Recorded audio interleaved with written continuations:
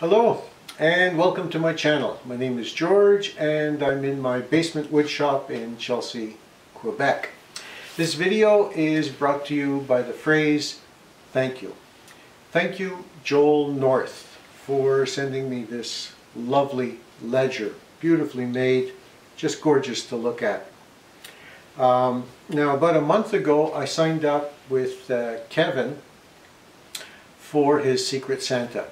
Uh, Kevin is the host of KRT Wood and he organized a Secret Santa for anybody with a YouTube account. You didn't have to be a video maker, you just needed a YouTube account.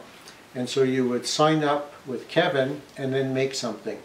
And Kevin would then tell you who should receive it. Uh, so person A would make something and send it to person B. Person B made something, he would send it to person C uh, and so on. So this way all the, uh, the um, objects that were made got circulated. And I don't know if you remember uh, what I made for the recipient, um, but I received this and I got the better deal. So let's, uh, let's get a closer look at it. The covers are solid Padauk um, about 3 sixteenths of an inch uh, thick. And uh, they're bound together with black leather with uh, what look like bronze rivets. So the bronze rivets are a little bit proud on the outside, but on the inside they've been fitted into recesses. Uh, just perfect little recesses to receive the rivets. So this panel lies flat. And there's a bronze uh, and black leather clasp to hold it uh, closed. Now the pages themselves are not glued into place. Uh, they're stitched. And take a look at the stitching here on the outside. Uh, they're stitched such that there's a beautiful pattern uh, made in, out of them. Um, at the back, there's Joel's logo. And uh, the, he has a site on Etsy called uh, ThinkHatch.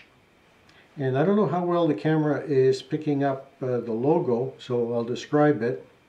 Uh, there's a light bulb in the center, and of course the light bulb is the universal uh, symbol for thinking. And this ovalish outline is actually egg-shaped with a little crack forming over here. So there's the hatching. And, and so I take this to be Joel's way of expressing uh, creativity, that it goes from a thought to a prototype. Anyhow, if you'd like to see more of what uh, Joel makes, you can visit his uh, Etsy uh, channel, there's Etsy webpage. Um, if you uh, Google the terms that you can see here at the uh, bottom of the screen, uh, you'll see it.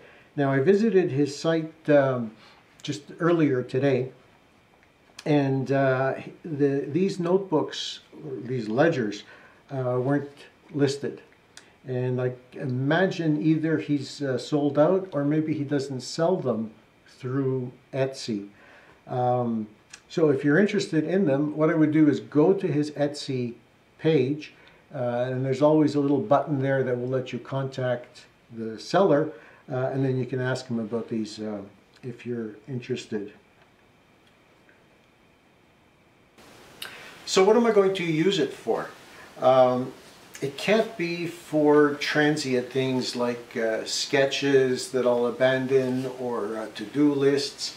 It has to be something with permanence, something that I'll look up maybe in a year's time and then year after year after that. So I'll probably put something like addresses and maybe even passwords for certain uh, websites um, into it. And this way it will last. It's just too gorgeous to use for transient. Things. So Joel, thank you once again. I can't get over how beautiful and how well made the ledger is. I'm going to really enjoy it.